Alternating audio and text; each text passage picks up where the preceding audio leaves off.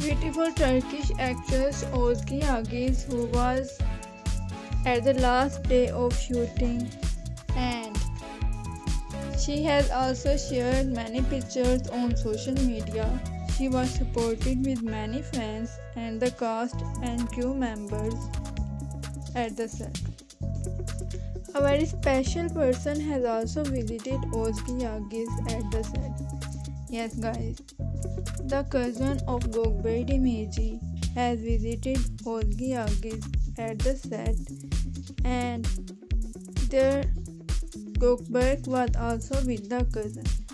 So the cousin of Gökberk visited Özge Yağız at the set and Özge Yağız was really happy and delighted when the cousin of Gökberk visited her at the set.